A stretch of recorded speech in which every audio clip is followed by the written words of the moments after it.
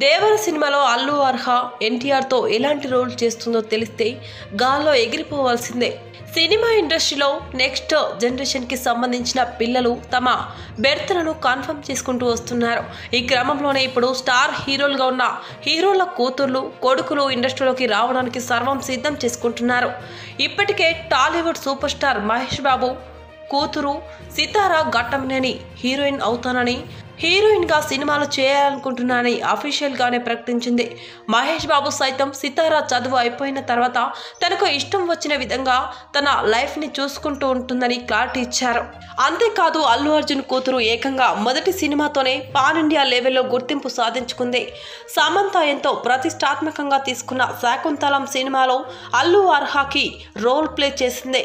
నిజానికి శాకుంతలా దేవి పాత్రలో నటించిన సమంత కంటే దుష్యంతుడి పాత్రలో నటించిన దేవమోహన్ కంటే భరతుడి పాత్రలో నటించిన అల్లు అర్హనే అందరినీ ఆకట్టుకునిందే.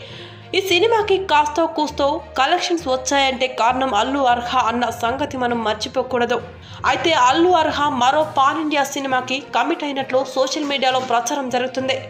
ఎస్ టాలీవుడ్ యంగ్ టైగర్గా పేరు సాధించుకున్న ఎన్టీఆర్ ఎంతో ప్రతిష్టాత్మకంగా తీసుకొని నటిస్తున్న సినిమా దేవర.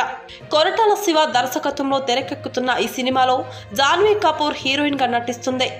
అయితే జాన్వీ కపూర్ చిన్నప్పటి పాత్ర కోసం అల్లు అర్జున్ కూతుర్ని చూస్ చేసుకుంటున్నారని ఎన్టీఆర్ అన్నారు.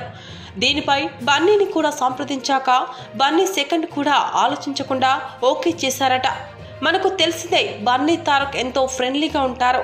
బావా బావా అంటూ ముద్దుగా పిలుచుకుంటూ ఉంటారు. మరి అలాంటి స్టార్ హీరో సినిమాలో తన కూతుర్ని నటింప చేసేందుకు ఫ్యాన్స్కి ఎంతో హ్యాపీగా ఉంటుందో అర్థం చేసుకోవచ్చు.